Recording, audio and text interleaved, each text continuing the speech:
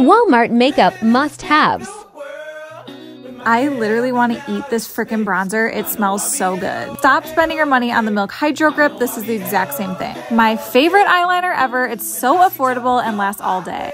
I guess you need an associate for mascara now, but this is bomb. e.l.f. coming in again. This hydrating concealer feels amazing. The Maybelline Lifter Gloss is not sticky and is made with hyaluronic acid. One of my favorite foundations, it looks like I'm wearing a filter. If you love creamy lip liners, you have to try Milani. They're $6 and the shade range is not that bad. Oh yeah, and you definitely need to run to Walmart because Cap Cosmetics is on sale.